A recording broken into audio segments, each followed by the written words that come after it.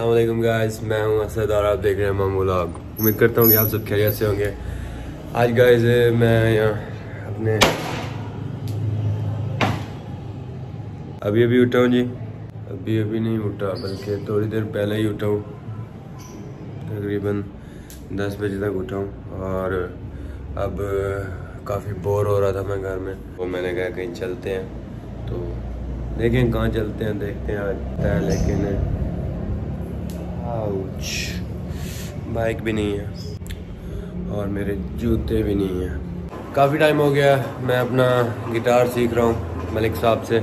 मलिक मुझे सही से गिटार सिखा रहा है। आज मैं आपको दिखाता हूँ कि कितना गिटार मैंने सीख लिया है और कितना मैं प्रैक्टिस करता हूँ। दिन में तकरीबन आधा घंटा घंटा तो एक घंटा पूरा ही प्रैक्टिस में लग जाता है। अगर ना करो प्रैक्टिस तो हाथ, वो जो है ना, ये उंगलियाँ जो होती हैं ऊपर, ये ये सारी ना फिर सही हो जाती है।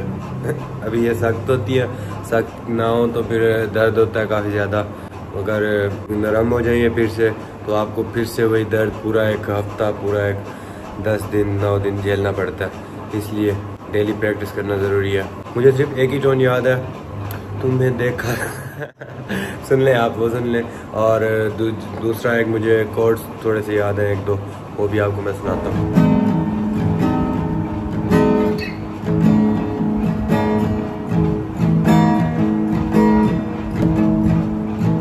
तो ये थोड़ा सा मतलब जो होता है मतलब नॉर्मल सा ये इतना कोई अच्छा नहीं है।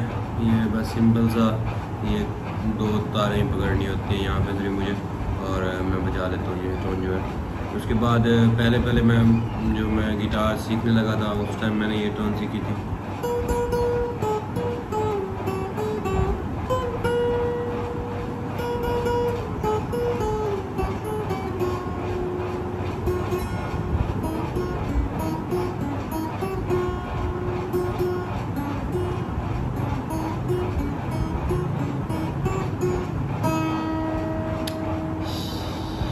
अब मैं मुसरत भाई को लेके आया हूँ यहाँ पे और ये हम आज टोटल पेट्रोल पंप पे आए हैं। ये बेसिकली जो है नसरुल्ला खान दरिशक का पंप है और इसके पीछे काफ़ी खूबसूरत जगह भी है वो भी मैं आपको दिखाता हूँ। अभी मैंने पेट्रोल डलवाना है पहले बल्कि पहले स्टिंग ना पी लें। हाँ बोतलें पी के पहले स्टिंग पी लेते हैं वापसी पे फिर आपको दिखाते हैं पंप का क्या सूरत हाल है बड़ा खूबसूरत पंप है आगे चल के सारा आपको दिखाऊँगा इंशाल्लाह उसके बाद हम ब्लॉग एंड करेंगे।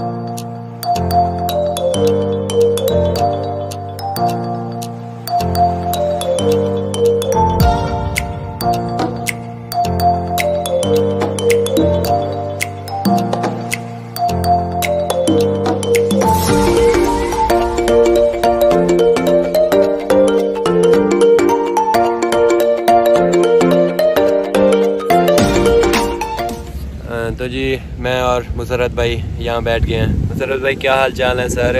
शुक्र है, सर, तुसा सुनाओ, ठीक हो? खैरियत फिट हो तकड़े हो? आपसे पूछ रहे हैं मुझसे नहीं पूछ रही है कितना कम हो यार? लिफ्टा क्या नहीं तो ना कमेंट्स आते पे ना कोई शेयर है ना कोई सब्सक्राइब है ना कुछ है क्या वजह? नाराज़ तो ना ऐसा बताएँ सर हमें कोई मुसरत भाई के सवाल का जवाब दें हमें। आज हम यहाँ आए हैं हमारे पास हमारे साथ मलिक नहीं आ सका। मैंने मलिक को कॉल तो किया है लेकिन उसने कॉल नहीं उठाई। मैंने हमजा को भी कॉल किया है कि आओ यार आज थोड़ा सा हम हमजा भाई यार बीमार है उन्हें वास्ते दुआ कराए अल्लाह हाँ, हमजा शिफा दे हमजा भाई को एलर्जी हुई पड़ी है सारी यहाँ जिसम पे सारी एलर्जी हो गई है उसको तो उसके लिए दुआ करें। अल्लाह पाक शिफा देगा अल्लाह पाक उसको शिफा दे इनशाला हम उसके लिए दुआ करते हैं। मौसम की चेंजिंग हो रही है ना इसकी वजह से थोड़ा सा तबियत आउट हो गई है। हाँ आज मलिक भी नहीं आ सका हमारे साथ हमजा भाई भी नहीं आ सके मुसरत भाई को मैं लेके आया हूँ। मुसरत भाई तो इस टाइम ही फ्री होते हैं। और वो जब भी फ्री होते हैं मुझे ही मैसेज कर देते हैं। हमने कहा ब्लॉग भी बना लें हम अपने व्यूअर्स के लिए और मतलब यहाँ इंजॉय तो कुछ नहीं कर सकते। आप देखें ये सारा मैदान है पूरा। ये यहाँ पे आके सुकून से भी पी लें दोस्तों को ये टोटल पंप टोटल पंप भी दिखा दे। यहाँ सुकून से मतलब आप बैठ सकते हैं। यहाँ पे कोई मतलब शोर शराबा नहीं है। बहुत ईजी जगह है ये। उसके बाद अब हम चलते हैं यहाँ ये पहले स्टिंग मीटिंग पी लें। उसके बाद चलते हैं यहाँ पेट्रोल भरवाते हैं। आपको दिखाते हैं कि यहाँ पंप की क्या सूरत हाल है। हम पहुँच गए हैं। पेट्रोल पंप पे।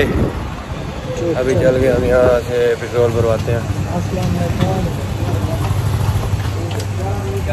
एरिया से ठीक जरत भाई जी पेट्रोल भरवा लें। जब तक आपको मैं ज़रा यहाँ का माहौल दिखाता हूँ। आगे चल के। ये यहाँ पे बड़ा खुला खुला माहौल है। बड़ा इजी माहौल है यहाँ पे।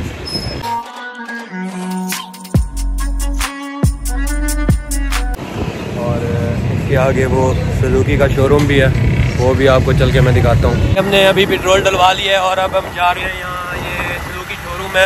ये कितना अर्सा हो गया मुसरत भाई इसको खुले हुए? दो हज़ार अठारह दो हज़ार अठारह सत्रह में तकरीबन। अच्छा और ये ख़त्म कब हुआ ये? मतलब कब गया हो? गया था इसका उन्नीस ये जी उन्नीस और बीस में उन्नीस या बीस में इसका इफ्तः हुआ है और माशाल्लाह बड़ा प्यारा बना हुआ है ये सर्विस और पार्ट्स वगैरह यहाँ पे ओरिजिनल सलूकी के जो होता है सब कुछ मिलता है। और अभी मुजरत भाई हमें बाइक में मारते थे। मुजरत भाई सारे। क्या हाल करो सारे? तो जी आपको मिलते हैं नेक्स्ट ब्लॉग में। अपना ख्याल रखिएगा और नहीं। और जी, आपको मिलते हैं हम इनशाला नेक्स्ट ब्लॉग में। अपना ख्याल रखिएगा। हमारे लिए दुआ कीजिएगा। हमजा भाई के लिए भी दुआ कीजिएगा। उनकी तबीयत काफ़ी ख़राब है। इनशाला मिलते हैं आपको नेक्स्ट ब्लॉग में।